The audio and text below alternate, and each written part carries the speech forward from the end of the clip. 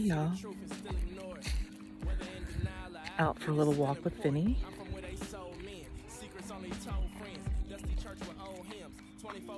Say hey, Finni. it is such a beautiful day. It's 75. Yesterday and the day before, it was in the 50s and low 60s. You know, guys, this weather, weather patterns are like really crazy. I don't think it's a a fluke. I think it's something that they're putting out there in the sky to make that happen. Causing people to get sick. I'm just saying. I'm just saying. You know.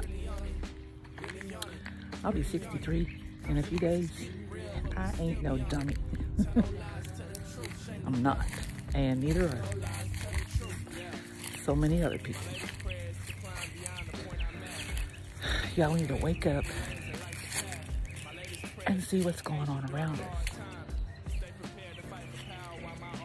Y'all be the judge. What do you think? because you know, people are getting sick like crazy for no reason. Weather is changing like from one day to the next. It's just ridiculous. Ridiculous.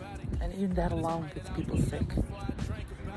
Yesterday morning, I woke up again with half of my body, well, my head, sick. Half. That weird or what? Half. Nostril, this nostril was running and stuffy. This side of my head was stuffed up and felt terrible. Like when you get a sinus pressure, it was only on this side. It was just weird. I never had that before. Something new.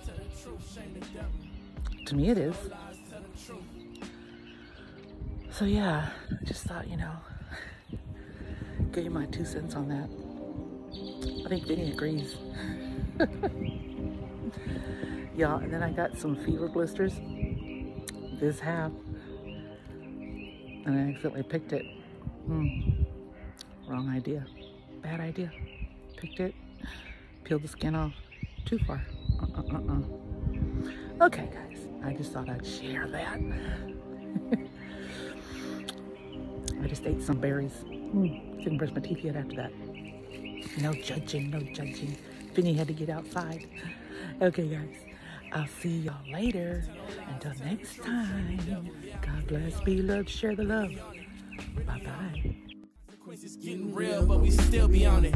Tell no lies, tell the truth, shame the devil. Tell no lies, tell the truth.